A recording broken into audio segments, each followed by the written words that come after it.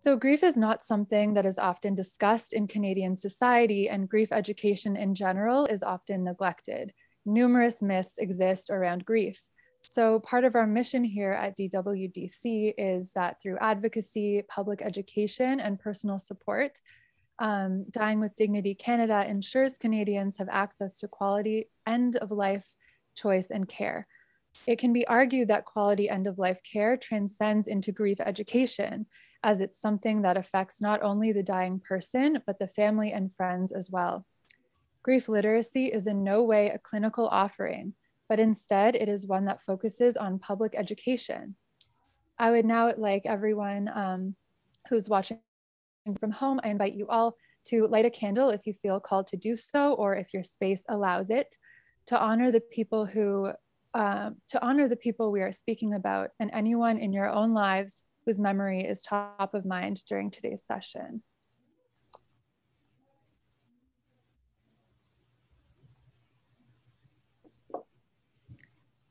So today's topic is grief and medical assistance in dying, and we're joined by three wonderful guests who are here to discuss the grief experienced following a MAID death and common myths and misconceptions about grief in MAID.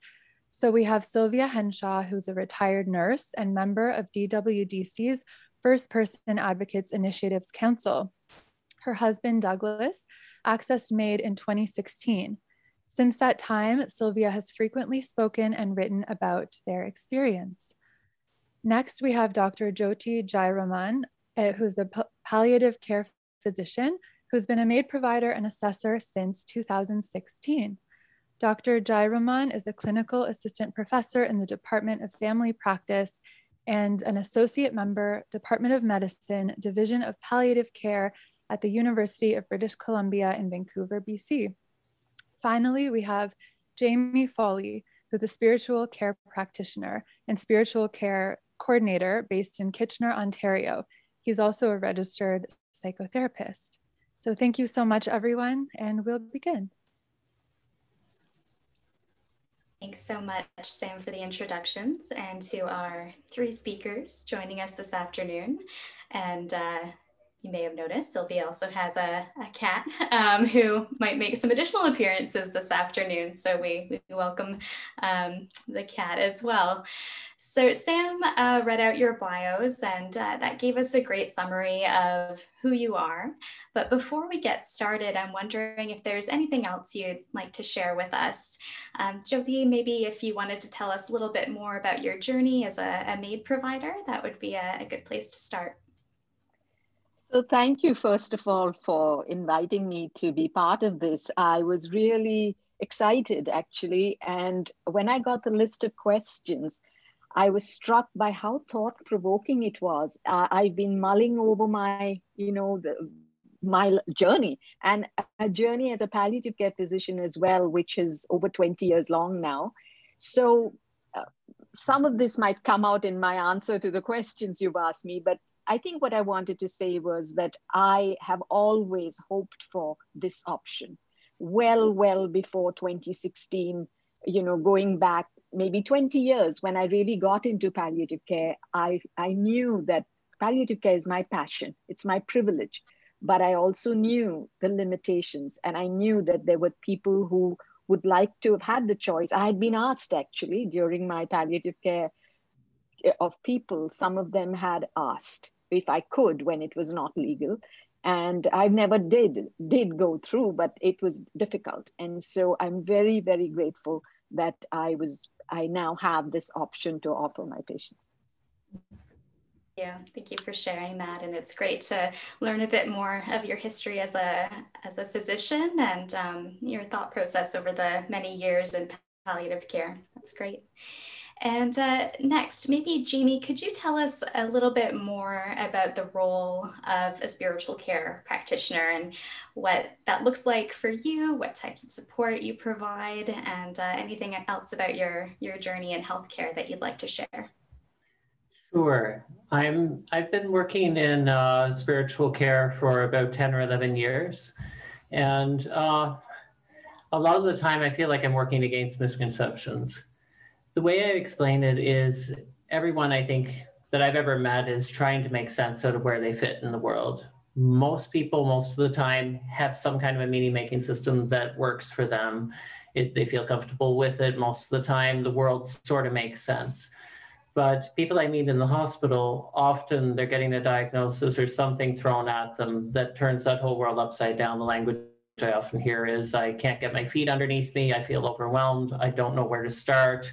This doesn't make any sense. So my role is really offering support to people within those kinds of liminal spaces when they're not really sure which way is up anymore. So my job isn't to tell them which way is up, but it's to take the pieces, as it were, that made sense before and to hear from them okay, what's your world about? What used to make sense? What makes sense now? What's the new information coming in? How do we put this together so that you can feel like you have some kind of sense of control over what's going on in your life? So I take what they offer me and work with that towards hopefully a better sense of meaning, a better sense of security. Uh, often people will use religion as one way of making sense of their world. Uh, in other cases, that's not really the system they use or that may be actively unhelpful. So I'm always working with what we've got. Uh, so whether it's religion or not, spirituality, it's always the language that the person uses. Uh, so I'm a registered psychotherapist. That basically means I'm a counselor. I'm trained with, with psychotherapy techniques, but my particular focus is always around helping a person find what's their story, what makes sense to them, how can they move forward. That's me. Thanks, Jamie. That's that's helpful. That gives us a, a good picture of what what your day to day looks like and uh, how you're helping people. Thank you. And Sylvia, um, is there anything else you wanted to share with us about you and Douglas? Or, um, as mentioned in your bio, you're a retired registered nurse. Um, anything at all that you wanted to share before we get into some of the other questions? Um, I think that I became interested in dying with dignity because of my husband, Douglas. Um, he was the one who found you first when he was ill with Parkinson's disease. And um, after his death in 2016, I became a volunteer with Dying with Dignity, and um, as well as speaking and writing about our experience, as you've said. I've also assisted four of my friends and have been able to steer several other people to the Dying with Dignity website, and in some cases have printed off information for them and they've carried the ball from there.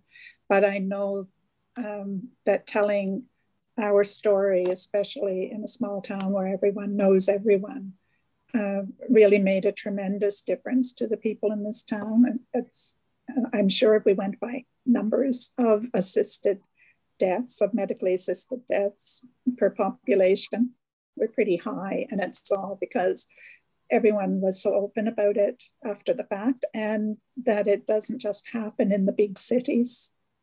It can be for rural Nova Scotia even. Absolutely. Thank you, Sylvia. So we'll get into uh, some additional questions now. And um, the next few that I'm going to ask are more so about um, some of your personal experiences with grief. So maybe we can start with um, Jyothi. And the question for you is, you know, as a palliative care doctor, as a MAID provider, you're of course supporting a lot of people who are approaching end of life or at end of life. Do you experience grief in your work? And is this something that's addressed in the medical community? Hmm. Now, that's the question that had me reflecting the most. Do I experience grief? So, you know, I listened to the previous session, and one thing that struck me was the definition of grief. We traditionally think of it as a reaction to loss. That's what we usually think grief is. But to me, my grief really has been my reaction to suffering. So, not so much reaction to loss, personal or otherwise. It is my reaction as a physician to suffering. And my journey to palliative care began because of that, because I felt I had to do something to relieve the suffering that I saw. And so my grief has been most acute and hard to bear when I have not been able to relieve the suffering. So with MAID, at least a few people I felt I could, you know, I know that death is not what everybody wants. Nobody really wants to die, but at least they felt that they could control their suffering with this option. And as a palliative care physician, I felt we could. We were making a, difference and uh, helping to relieve suffering. But uh, the, I, the unknown for me is the meaning of suffering. Why do we suffer? That has not been answered. And to me, that grief, that is the most acute grief that I bear. Um, it's not something that we talk about much in the medical community you know. We're ten we're told not told but the models we see are people who you move on you hurt but you're not supposed to really talk about it. I'm fortunate because i've usually practiced in a team and the team consists of social workers of nurses and i think they are more comfortable with sharing their emotions. It's okay to cry you know we physicians are not supposed to cry. We don't show that emotion but i i felt very comforted because i could turn around to them and ask did we do all we could? That to me was always the underlying burning question. Did i do my best? Did i could i have done anything more? And to be reassured was very comforting. So the broad medical community which includes the entire team yes i have felt supported uh, but within the physician community itself, I think we palliative care doctors are a bit better.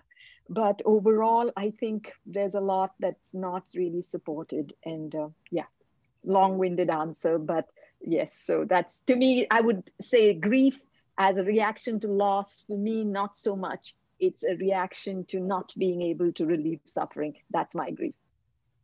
Uh, thank you. Thank you for sharing that. And that seems to tie in with some other observations from those in, in working in the MAID space and, and helping people who are often approached here, you know, this must be so sad for you to work um, in, in this space and, and help people, you know, have an assisted death. But a lot of the responses are, you know, the worst situation for me or the situation that causes me the most pain is when somebody is told no because of limitations in the law and they may, you know, continue suffering for some time. So certainly heard that in the the MAID community, and it seems like it might be misunderstood from some who aren't as involved um, in it. So thank you for that.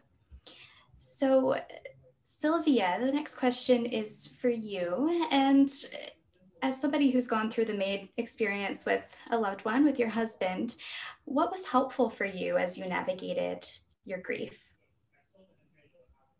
Oh gosh, what was helpful? Um, before he died, and much of my grief was before he died. It was anticipatory grief. Um, I think it was just coping. It, it took everything to just cope and get through the days and keep keep his spirits up. Um, I that there was a lot that was actually helpful in our case until um, he applied for the MAID process, and then there was hope. But because he was so early, um, Nova Scotia was just a little later getting started than some of the provinces. There was a long wait, and there was a lot of anxiety involved in that wait. And the thing that changed it all was receiving approval and knowing that in five days he would not have to wake up. And that changed everything so that the final five days there was more joy and more laughter and more relief than there had been in the previous 10 years.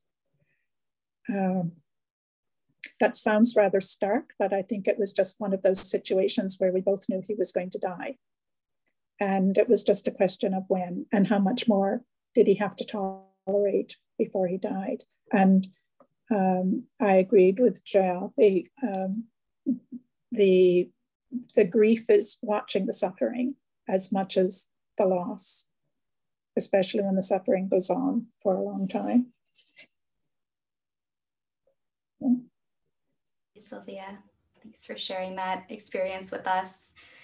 Um, the next question is for um, both Jamie and Jyothi. Maybe Jamie, you can get us started with your answer.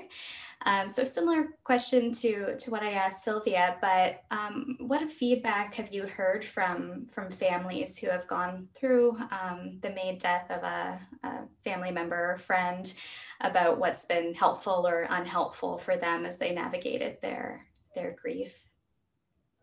Jamie? Each each family is different, so it's a little hard to say. One universal that I've heard from a number of different spouses is the feeling that they have to put their own feelings on the shelf while they're supporting the person who's requesting and waiting for MAID. Uh, in one case, I remember in particular, it was a long process because the person made the application and then they decided to postpone the date for the provision of MAID by a week uh, to help some other family members who were trying to get in touch and come to terms. It was the right decision for the patient, but it was extra stress for the spouse. And she, I was going just about every two or three days to check on them. They stayed in the hospital. Uh, after MAID had been provided was when the spouse showed the feelings that I had been told all along by other family members were there. Up until that point, she was kind of holding it together. And it was like, okay, it's finally done. I can relax, but oh my goodness, there's a lot there to to now start to to work my way through. I, I've heard that from a number of, of different family members, the feedback that they they don't feel like they can really be honest about their own feelings because they're trying to be strong for the person who's the identified patient, as it were, the one who's supposed to be getting all the help. And I'm not sure what we might have been able to do differently in that case, except to identify that this is probably going to happen and to remind the person that it will probably hit you pretty hard. But even then, that's really hard to know until it happens.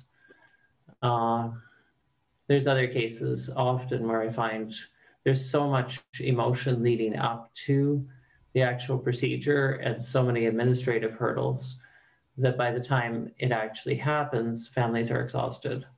And they're often like, okay, we're done. All right, thanks, bye. And I'm like, we're here to support, but they're heading out the door and they don't want to see the hospital anymore. So uh, I'm thinking that it would be nice if we could build more of a follow up for families, have something normalized and built in that's there from the outset. Uh, that we inform families that this is going to be a phone call that's going to happen two, three days or a week down the road. It's not because of anything in particular, except we found that it's helpful for, for everybody to have that option. Um, the other thing would be to have some administrative hurdles lowered quite a bit. Uh, Bill C7 helps a lot for that uh, and watching with interest how that's going to play out. But that's caused a lot of suffering and angst. And I've heard that from plenty of families and staff and just about everybody when we're holding everything up to dig for one extra witness or holding everything up because the hospital won't let us sign the forms or all sorts of other stuff like that. We didn't dot our I or cross our T, and all of a sudden we're back to square one. So, if anything we can do to make that smoother, because I, I understand the safeguards, but they end up causing grief in other ways. Absolutely. Thank you, Jamie. Uh, Jyothi, anything to to add? Anything that you've observed on your end? Yeah, um, I think there are a couple of things. One is, as Jamie said, the lack of follow up support. To me, that has been quite stark in some cases. I've been asked, And uh, we've seen where we had a pilot project in Vancouver where they actually had this. And I was so excited, but I don't think they had the funds to keep it going. And I had two patients' uh, spouses who, not necessarily spouses, uh, one mother and a spouse, who both had had complicated grief. And I was still in touch with them. And they explained that it was very helpful to be amongst others who had experienced a MAID death which brings me to the point of this specific way of dying, dying by MAID. Today in Canada, it is still not something you would see in an obituary. You know, you might, I might see my name mentioned, thank you to Dr. Jayaraman. And so I know that that's their way of saying it, but they don't say my, my, what, whoever um, had a MAID death. That's very rare. I think it's happening a little bit more, but not often. So there's a secrecy that the family tends to maintain, especially amongst the broader community. And I actually had one patient's spouse tell me that finally what, what she did was she, she was in a park and she was sitting on a bench, very lonely, uh, an older woman, she and her husband were the only two who, who you know, they, they, they, were distant from everyone else. And so there she was sitting on the park, and a stranger sat down next to her, and they started talking. And she found herself telling him. And it was, she came and said, it was so cathartic. He was a complete stranger, but I couldn't, I could tell the truth. I could say what happened. So I think we need that. I'm hoping that as Canada becomes more open with that, people will feel comfortable saying, yes, my loved one chose a MAID death, and I think that'll relieve some of the suffering. And I think the second thing would be to have a lot more support in place. Um, I myself do something which I sort of think about a lot. I mean, before the MAID death, I'm very available but uh, I'm also available after for those who want to reach out. But during the provision, this is something which within the our MAID community we discuss a bit because we wonder about the, the family is as close as possible to the dying person. Now, I feel that as a provider, I it's a great privilege for me, but I also ask that I be included for that short time within the family. I, I, I immerse myself so that I can share and I grieve with you. And it's very important to me. And I hope that it's important to the family as well, because um, I don't want to be a distant person, you know, just doing this. I am with you. And I'm hoping that perhaps grief shared can maybe be grief a little lessened you. That was so well put, and um, we appreciate you sharing that with, with us today. So I have a question for Sylvia. And uh, Sylvia, you, um, as mentioned, you're a retired RN. So did your nursing experience influence how you experienced the death of your, your husband and the grief that followed? Is there any takeaways that you had from your career as a nurse that helped you through that or was it um, did you have any comments on on that? Um, i'm sure it did. As any um, old nurse any nurse will tell you that probably the most formative years were your years of training. And and especially my early career. But i have to say that nothing in my training or in my career prepared me for assisting my husband in his quest for an assisted death. Um, I felt like I was being torn into. I felt like I was, well, I was his physical and emotional support. It was exhausting. And at the end of the day, or at least at the end of my rope, I still had to do be his legs, be his fingers on the keyboard, be his voice to do all that was necessary to, to make the arrangements. And in 2016, there were a lot for the family to do. Um, so I think it helped me handle his death, which I, although I, I wasn't comfortable leading up to it, at the time of death, I sat and held his hand just like any other wife would. I was just very relieved to be able to sit back and be a wife and not, not be a caregiver. And afterward, um, I still had some guilt, some what if, um, some oh my God, what have I done? Um, but in the end, I kept coming back to he was a very clever man. He knew what he wanted. He knew how he wanted to go once he learned that it might be an option. And I did a lot of reminding myself of that, that he left the way he wanted. He had to leave a bit later than he would have chosen, but he, uh, he died his way in the end. Sylvia, appreciate you being so open about your experience and i'm sure it's it's not easy to relive some of you know what what you and douglas went through together. So you sylvia you actually touched on this um, earlier when you were answering a question but uh, this question is actually for jamie. Um, we hear the term anticipatory grief used quite often and i'm wondering if you could tell the audience more about what what that is what that means and when we might uh, see or experience anticipatory grief? Uh, I think traditionally it's thought of as the the feeling of distress that people feel before an anticipated uh, death or anticipated loss of some sort. Um, and sometimes people will feel it more than others, and the sense with MAID that you're planning ahead more so that it can become more acute. I tend to have a bit of a different take on anticipatory grief. For me, it's a way of describing how people feel when they're dealing with uncertainty, honestly. And that may sound a bit odd because, well, nothing seems more certain than having a MAID date. So this Friday at nine o'clock in the morning, the doctor is going to come.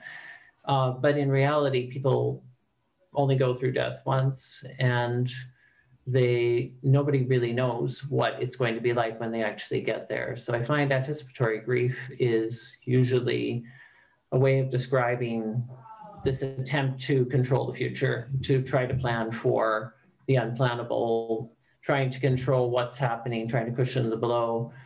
It's it's necessary. I think it's completely normal. Uh, it can actually like research has shown, it doesn't actually necessarily make the subsequent grief or loss that much easier to deal with. It probably changes it.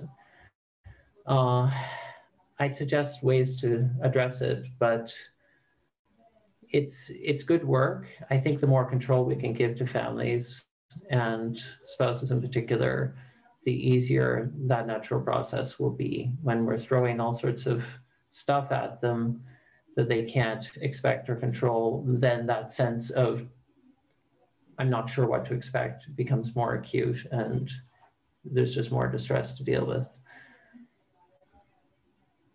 Thanks, Jamie. And uh, Sylvia, you, you, you mentioned this uh, before that you did have an element of um, anticipatory grief with the death of your husband. Can you share a little bit more um, about that experience and what that looked like for you and what some of those um, emotions were? Um, I think in the beginning, my grief was for what I had lost. I know this sounds very selfish, but that was what was foremost in my mind that I'd lost my partner, my support, uh, and he became my patient. That was very hard. And then I started seeing the losses through through the eyes of my husband, and that was a whole lot harder. Um, again, I go back to the, the suffering and the waiting for death is harder than the death itself at a certain stage. And I just um, remember how frustrating it was not to be able to do anything to alleviate his pain or his suffering, his mental anguish, and the realization that I was going to lose my partner of 44 years in a matter of weeks. It was worse than the event itself, I think. Sylvia. And uh, the next couple questions are again related to something that you you touched on, um, grief and how that's experienced by the person who is dying. Um, as many of us know, grief isn't just experienced by the people who are mourning the loss or the death of somebody, mm-hmm. but also by the, the person who's um, going to die, whether it's um, a MAID death or, or not. Um, so this question is for uh, Jyothi and Jamie.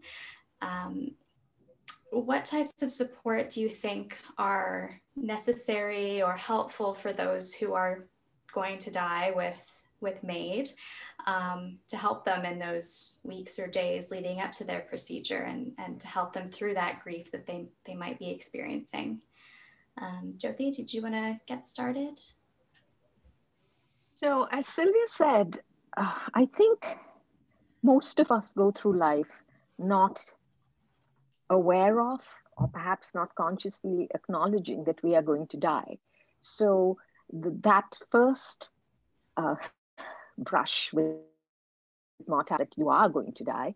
I think it all starts there. That the the the grieving, the the fear of what's coming. So it starts there. But the, the person who is actually dying, I think, begins a most incredible journey, which has been my privilege to share with those who have been able to share with me, and how their thought processes evolve. But it's also been through assessing for MAID that I've understood some of the fears that the dying have. And amongst them, there is a real fear of the loss of physical independence.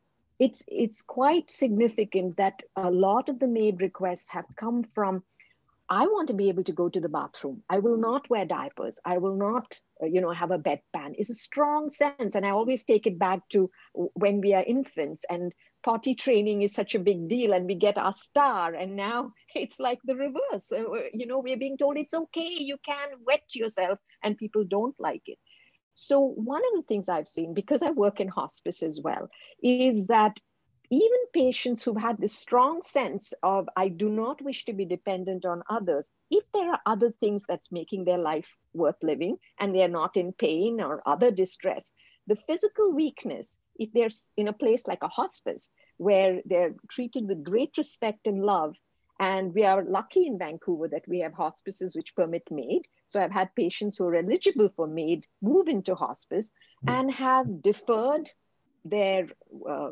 date, or I've actually had them pass away in ways which puzzles their relatives because these are people who said they wouldn't ever accept the, but in this loving surrounding. So to me, all dying patients and MAID patients in particular need to have that choice. They should be allowed to experience if they choose. But um, I, I think it's sadly lacking. We need more of these facilities which will permit MAID in hospice and also have more hospices and palliative care available. So that's one thing.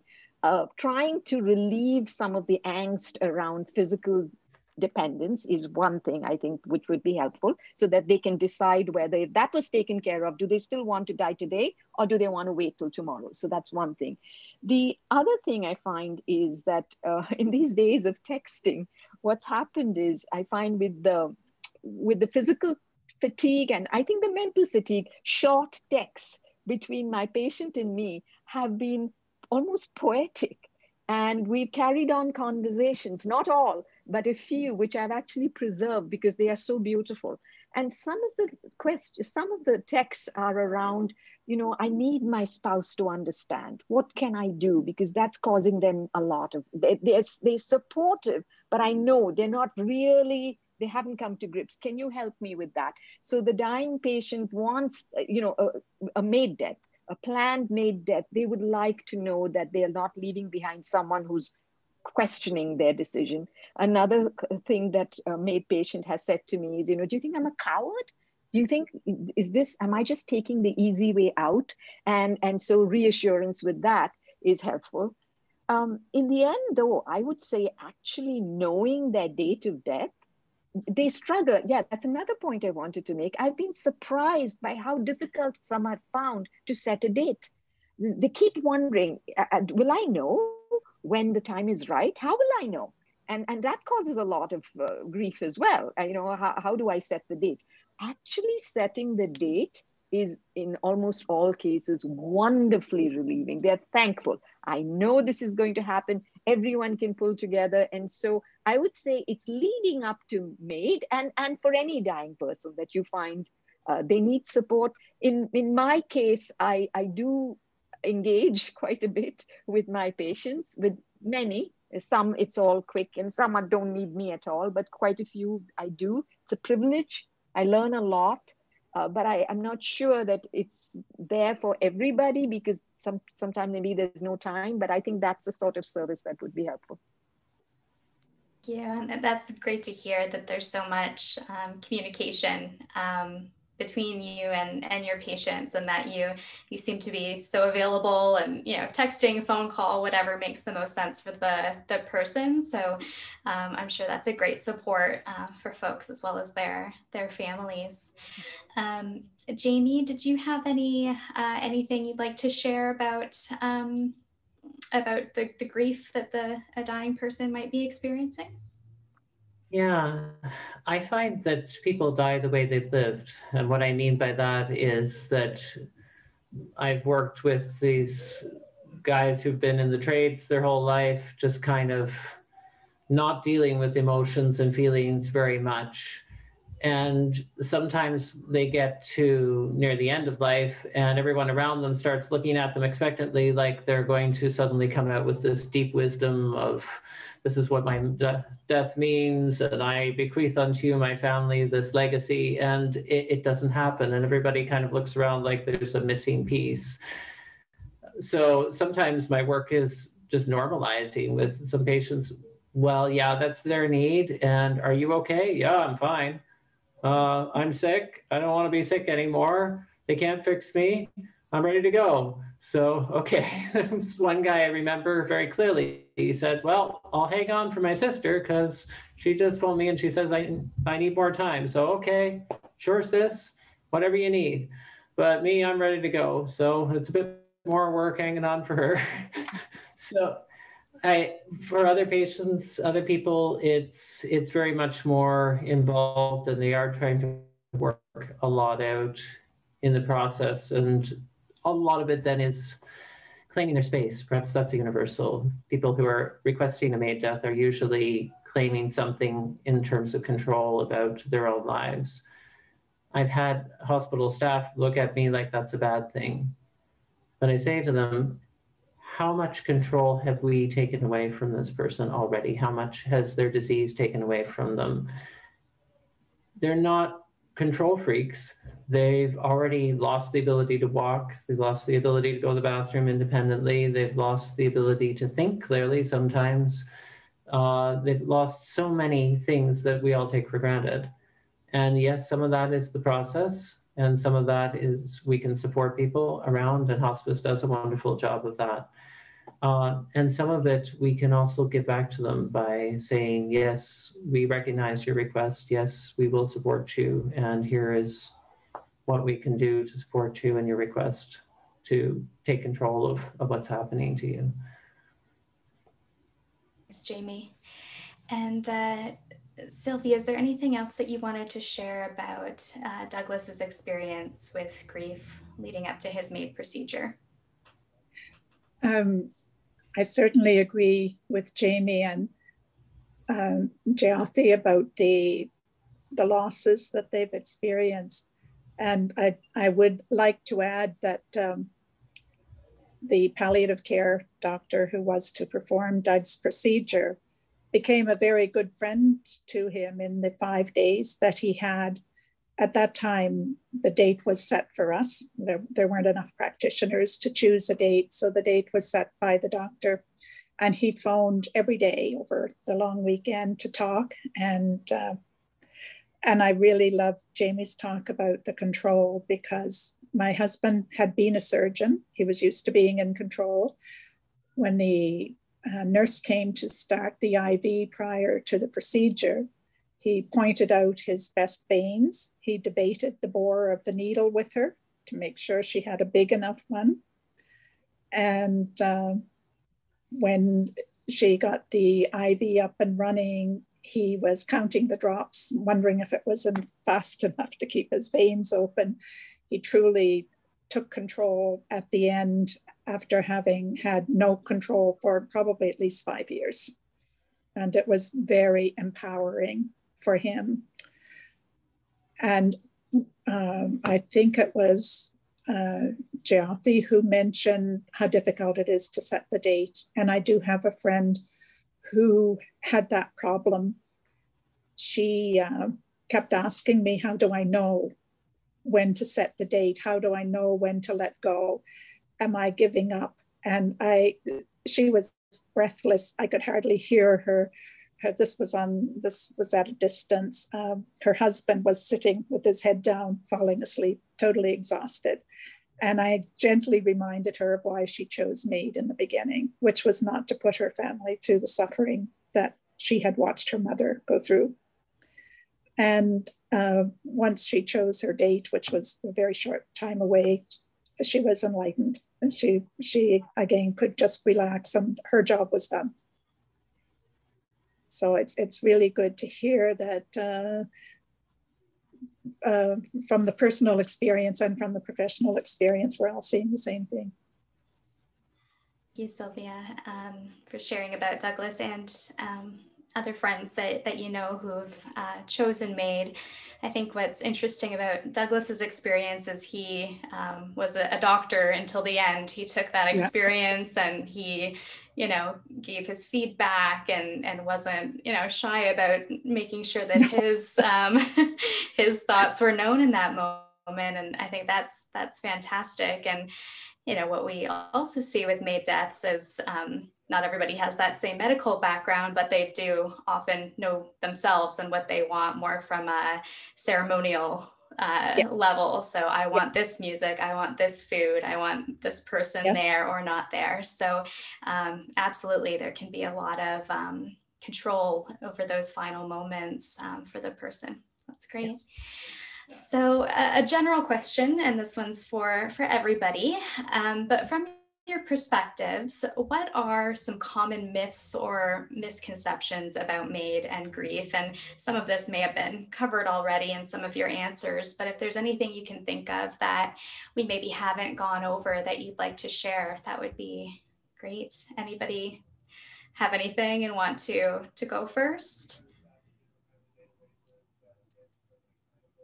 Well, okay, I'll go first. Great. so one of the things actually ties in what with what Sylvia just mentioned about uh, trying to figure out how to set the date, because I think uh, uh, amongst those of us who have fiercely advocated and support the right to die, even I, who's been so intimately involved with death and dying for such a long time, I've been surprised by the uh, anguish that many people experience with the choice that they now have a choice has actually so i think the myth in my mind the misconception i had was that it was uniformly a wonderful thing. You know for those who support and want MAID this was just an amazing thing. And ultimately of course it still is. But there is a significant amount of distress which i didn't anticipate in just having a choice. Now that i've even amongst those who've filled out the request form they've been told they're eligible, they then, especially those who say something like ALS, where very quickly they uh, make the request because they're so scared that maybe they won't be able to articulate what they want and all that. So they do it. And then somehow they're able to carry on for quite a while. And, and they just, the, the having the choice is causing them a lot more distress than I thought they would. So that's my, my observation. Yeah, it's very interesting. Um, who who wants to go next? Uh, I'll jump in and say, I find in a lot of ways grief is grief, and one of the misconceptions I encounter is the sense that this is somehow an alien experience if it involves MAID. That, that this grief must be totally different from anything anyone's ever encountered before, and that we need to have absolutely completely different ways of working through it yes and no. I know we've just spent about 50 minutes talking about ways that it is different, but on the face of it, loss and suffering and how we respond to those is is pretty it's a universal human experience. And I don't know that we need to trace too many lines of distinction around them that and I find that can get in our way, particularly part of my work is supporting hospital staff, and that's where I get a lot of the misconceptions. It's this feeling that, oh my goodness, somebody just asked for me. This is completely new. What do we do? We're scurrying around and saying, call the psychiatrist, call this, call this. And I'm like, whoa, slow down. It's okay. so that's that's my two cents. Thanks, Jamie. Sylvia? Um, I think my the one that irritates me the most is that it's an easy way out and it's um, suicide. And I heard that a lot in 2016, 2017. I don't hear that anymore. Um, I don't think that people were aware of the safeguards that were in place. And actually, in our case, because Doug was only the third death in the province, it was more like begging. Um, and he had a neurological disease rather than cancer or something that was going to bring a definite end date. Um, that was that's one of the misconceptions that really upset me. And the other one is that somehow people who are vulnerable or handicapped are now in danger of uh, being forced or encouraged to accept MAID. And again, um, it's been a year since the last death that I was involved in, but there was it, it was more of a a struggle to get all the approvals and and get everything ready than it was. Well of course you know there's always this as an option. I think in all cases uh, if my friends hadn't known about it i'm not sure they would have been told about it certainly not in our palliative care over the last, um, well, up until a year ago. Our palliative care was not recommending people for MAID. Um, some of the doctors were performing the procedure. It wasn't, it wasn't palliative care overall. It was just uh, the choice of, of many of them. So the easy way out and that nobody is safe anymore. Those are the two misconceptions that I try to sort out if I hear them. I I would add to that, Sylvia, that I still unfortunately hear a lot of people drawing the parallel with suicide, which to me is intensely offensive. I have a close friend who died by suicide. It's a completely different experience than supporting somebody through MAID.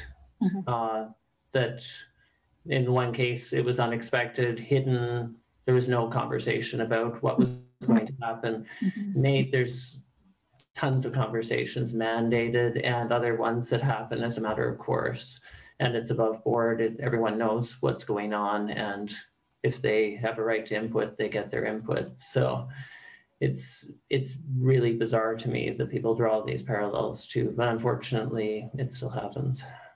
And I think adding to Sylvia's um, comment on palliative care, unfortunately, it is still the case that um, even our national organization of um, the physicians, palliative care physicians, we are still not supportive of MAID.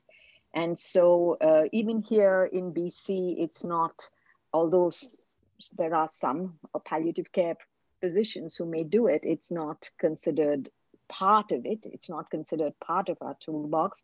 And one reason that I've had my colleagues, close colleagues, really tell me is because palliative care physicians feel, you know, as physicians, we are born to succeed.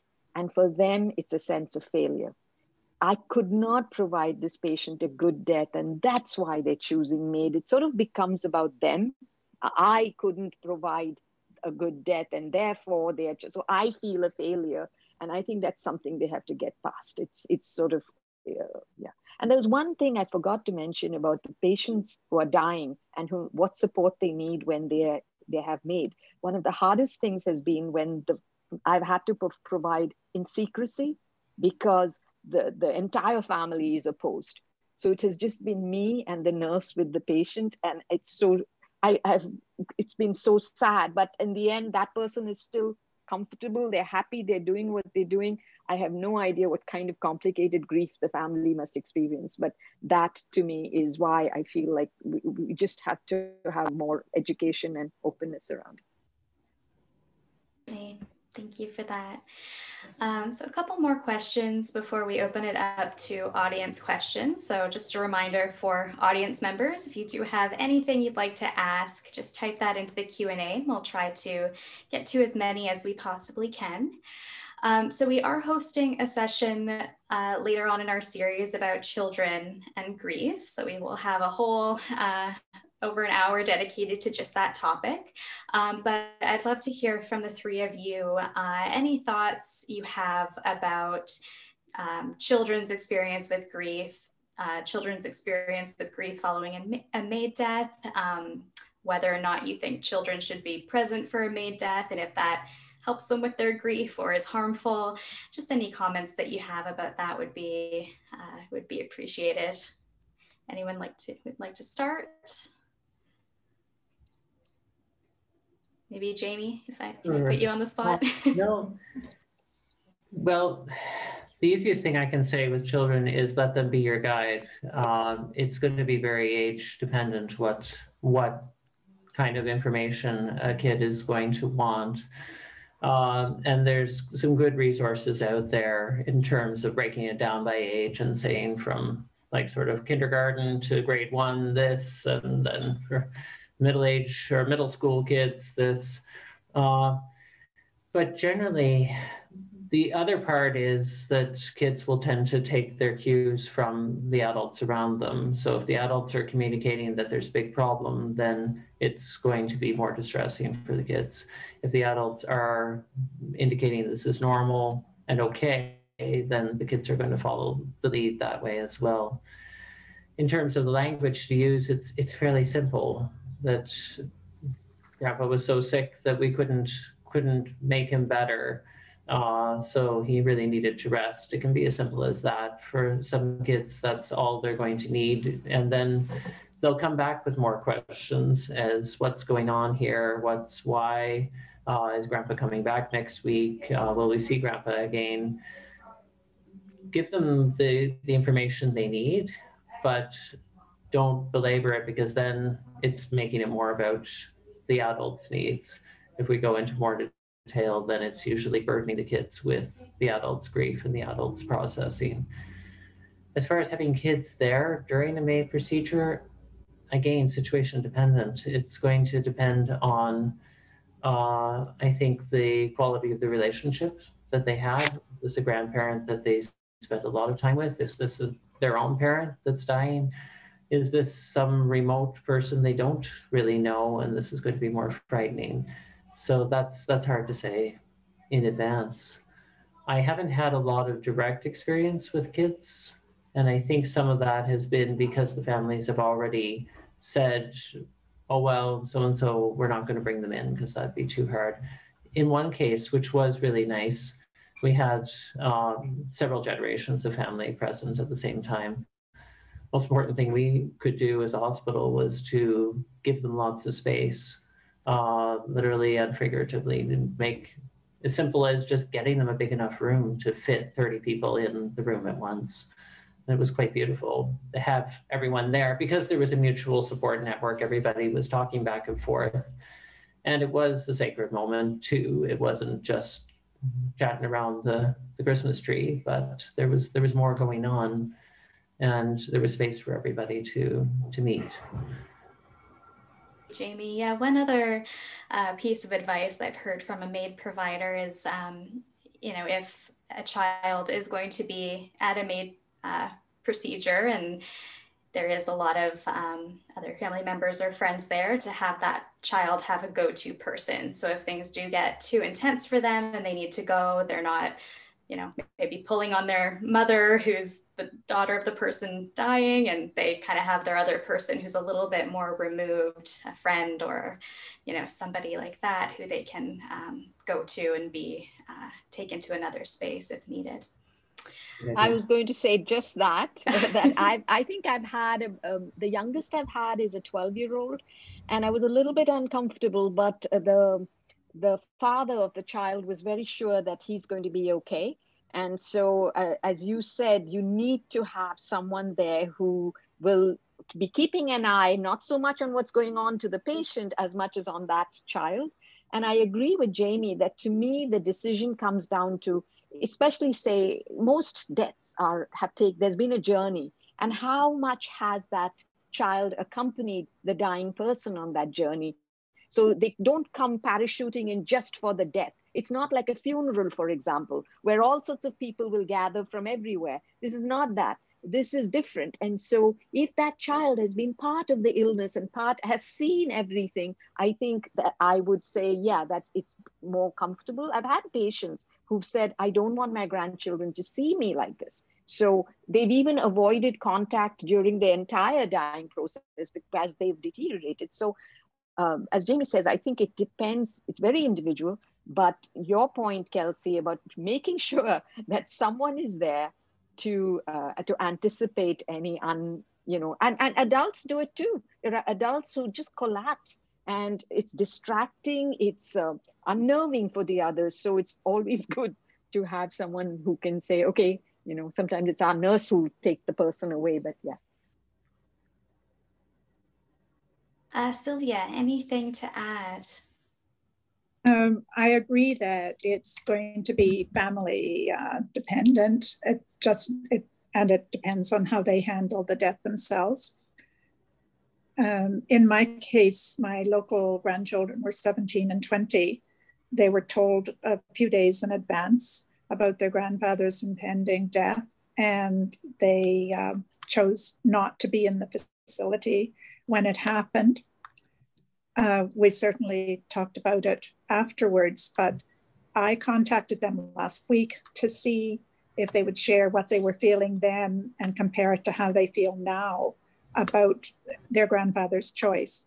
And they both said the same thing that um, they admired him for his choice. They knew it was what he wanted, they knew how much he was suffering and uh, they were still very proud of him. And they both ended by saying that if they found themselves in the same situation, it's what they would want as well. Thank you, Sylvia. And that's great that um, you continue to have those conversations with your yes. your grandkids as well and that it's not something that is in the past and we forget about it but you're continuing no. to honor your husband's memory and the choice he made and keeping your family uh, involved with with those discussions and and that reflection that's great yes all right, so I think we will open it up uh, to some of the questions that came through uh, ahead of time um, through the registration, as well as some that are coming through now. So I will welcome Nicole uh, Curtis, my colleague. There she is. Hi. And she will uh, be managing the Q&A. Great. All right, so we've had a lot of questions coming in. So thank you to everyone who has submitted their questions. And just a reminder, um, I'm going to try and get to as many of these as possible, but if uh, we don't get to your question, please email us support at dyingwithdignity.ca and we will follow up with you directly.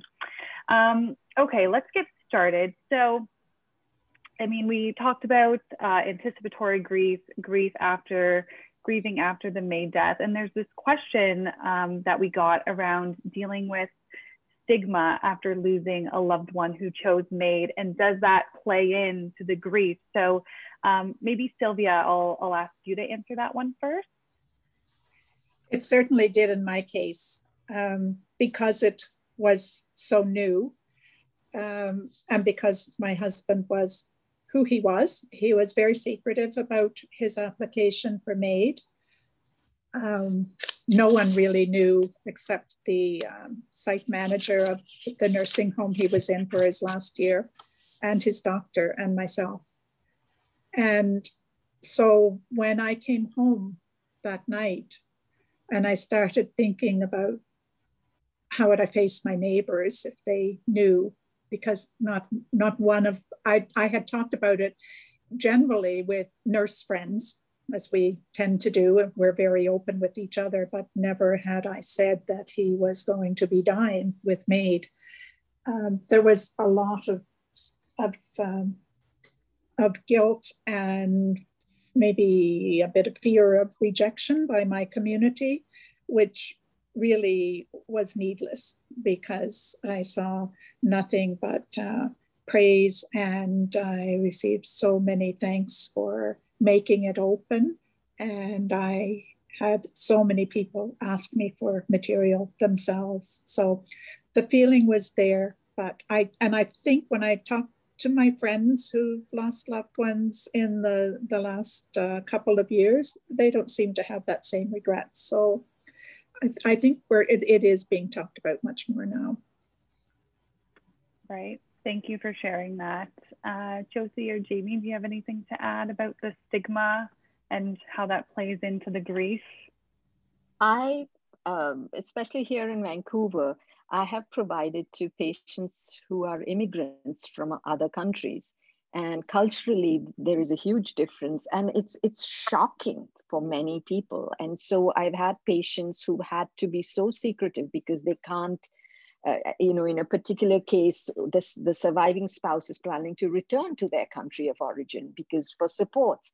And so everything is hushed. And yes, I would agree that, and that's going to be tough. You know, we, it's not easy to explain to, I myself, I'm from India and I'm very open that this is the work I do. I feel like I have to say so, but uh, it's not something that uh, is easily explained. And uh, definitely yes, it, it I think it does add to the grief that you you're always scared that someone will come to know. And so I, I think it's especially true because we are a nation of immigrants and our country is Canada is different from some of the other countries. Mm-hmm. Jamie, anything to add on that one?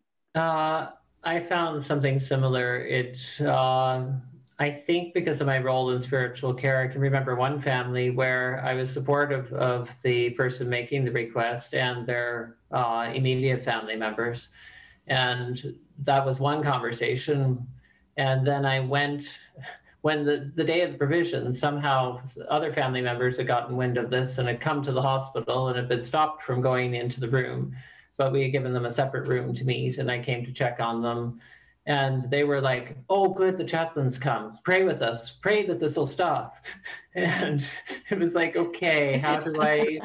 It was it was a little bit strange too. So I, I said a prayer with them, but I was it was it took all my balancing skills to try to recognize where they were coming from, where I was coming from, where the person in the back room was coming from, and try to make some kind of a bridge between them. Uh, I don't know how much I succeeded. The family looked a little bit, the extended family looked a little disappointed with me at the end that I hadn't come in with fire and brimstone to call down the, the forces upon this, this horrible thing that was happening. But it, I can also think of another family where they were actively fighting it the whole way and they actually, quote unquote, lost the application form after it had been filled out.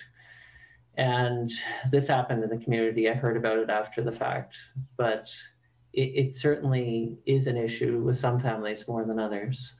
Uh, it's a problem. And we need to have more dialogue about this. We need to bring this out in the open because, yeah, it mm-hmm. is, it's a serious issue. Absolutely. Thank you for sharing that. What a complex predicament you found yourself in with that one family. Um, okay, let's, uh, another question. Uh, we got this question a lot and in different, phrased in different ways. So, um, and maybe Jamie, I'll start with you this time.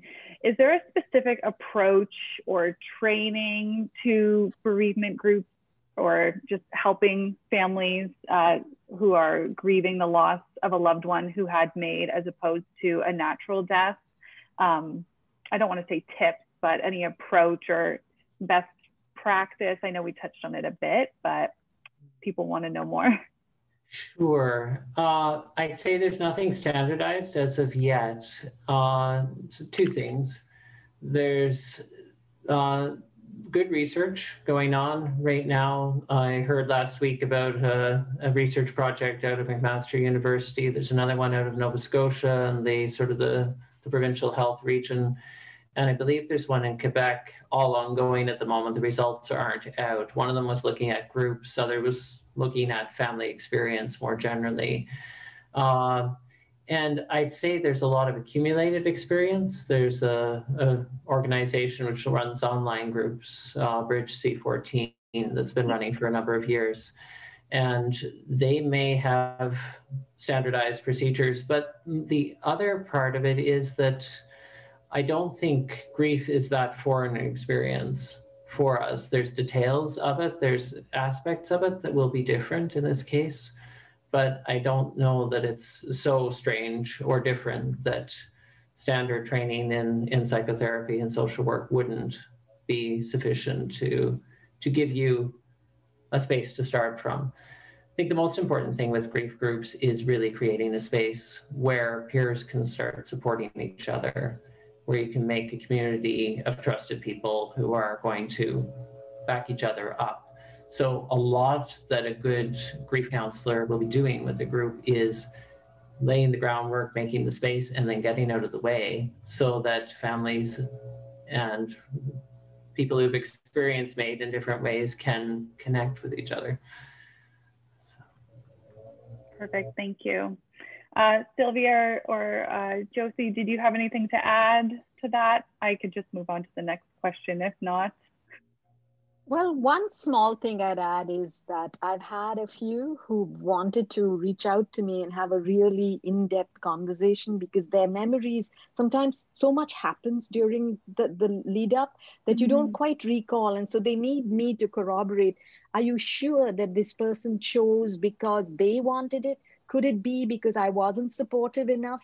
And and so that guilt is very strong sometimes. And so it's helpful for someone who's walked with them to say no this is this was their choice. You did everything. They need that reassurance. So i think it's good if those of us who've journeyed with the with the dying person uh, is there we're available to help. Uh, so i've had referrals back to me from the the pilot support group that we had. I had two patients uh, families who were actually con- uh, they contacted me again after meeting with the support group to just get some clarity around that.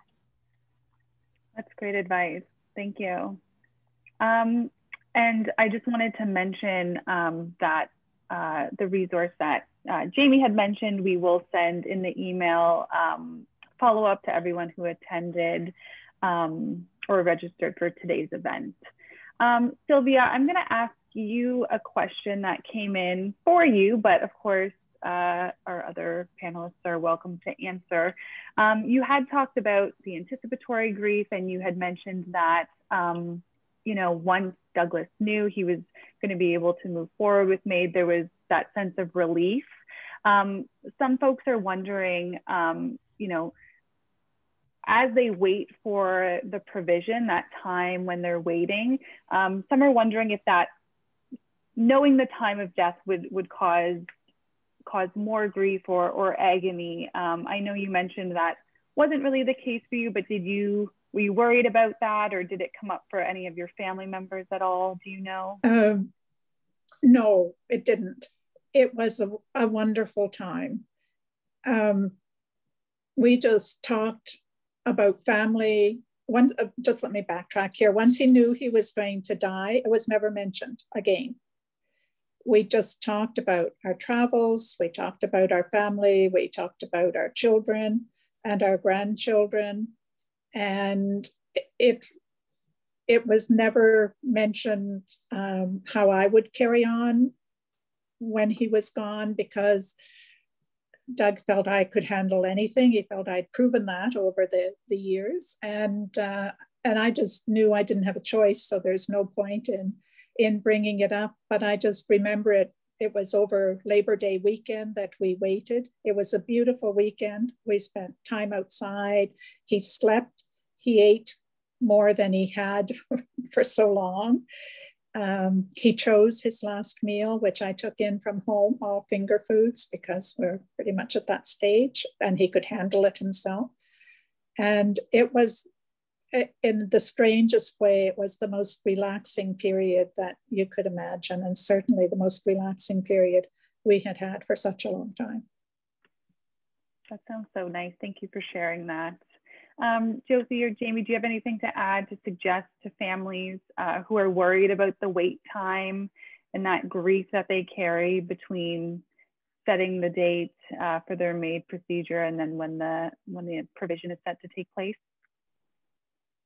I would say that um, while I'm so happy that for you, Sylvia, it unfolded like that, uh, I think almost universally, I would say that for the patient who's dying, it is like that. It is a relief. They, they you know, they're just ready and, and it's such a burden off their shoulders.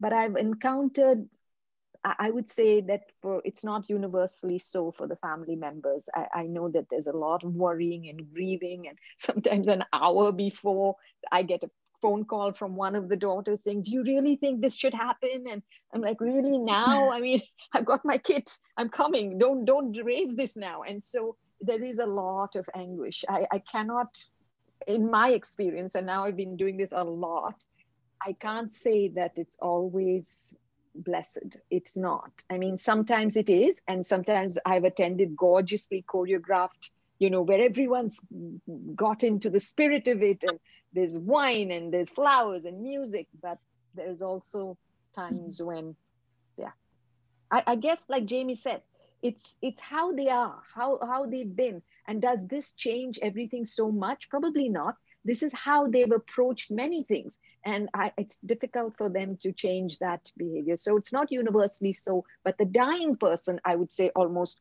100% of the in fact i would say 100% they are so relieved and they are so thankful. They can't wait for the day. They're happy to go but not always the relative. I, I'd agree with Jyothi on that, that, uh, yeah, there's some families for which it's this long drawn out affair. There's some families for which it's like, this is my last chance to fix everything and make everything right. But it's not generally the, the person themselves who's made the MAID request who's driving that. It's the families themselves and the individual members who are scurrying about saying, this is a big deal. We have to fix everything that's been wrong for the last 30 years. And of course, there's never going to be time for that. Uh, but I see that with a lot of anticipated deaths. I don't think that's distinct to MAID uh, per se. The only thing that's different is there's a specific day set, and that can make people more anxious if they're not directly connected with with the process. Sometimes is when they're more anxious because they're they're watching it. We don't really have language in Canada to describe how to to plan for for a death like this. We we don't other cultures in the past have had that, but I don't think right now we, we have the, the language to, to start thinking about that. So that, that makes it more complicated. Right, right. All right. Well, I'm just keeping an eye on the time and we're about a minute over. So I just want to remind everyone um, watching to submit any uh, last minute questions that you had that didn't get answered um, to our support email. And we want to thank Sylvia, Jyothi, and Jamie for joining us today. Um, all of your stories and insight is so valuable. So thank you so much for coming. Um, our next session will take place next Wednesday, May 19th at 3 p.m. Eastern Time. And the topic will be approaches to death and dying, grief and healing in First Nations communities. So please be sure to register um, and I will put the link in the chat. Um, and just once again, thank you all for coming and thank you to our speakers again. And stay safe and have a great um, afternoon, everyone. Take care. Bye-bye. Thank you. Thank you. Take Bye -bye. care. Thanks. Bye. Bye.